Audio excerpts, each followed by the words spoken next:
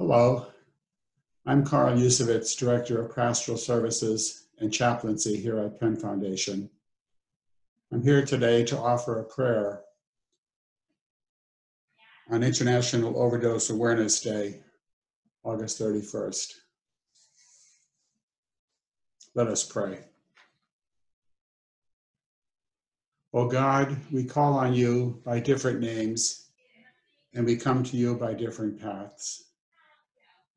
Today, we call on you to be a loving presence and a comforting presence to heal our broken hearts as we remember a friend, a family member, or a loved one who died from a drug overdose.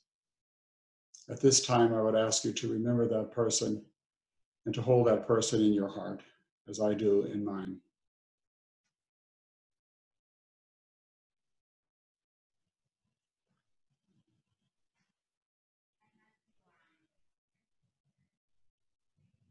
O God, we call on you from the depths of our sadness and grief.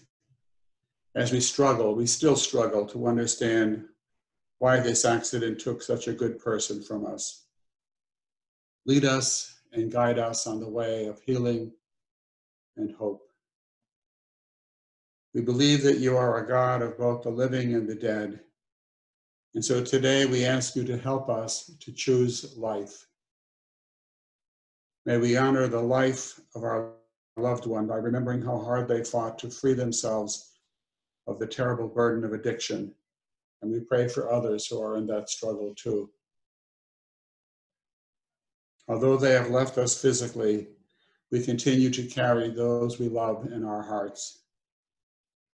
Help us to celebrate their life by reaching out to others and reducing the stigma attached to addiction and drug overdose by our society. God of yesterday, today, and tomorrow, please hear our prayer. Grant us your precious gifts of serenity, courage, and wisdom. Amen. Thank you.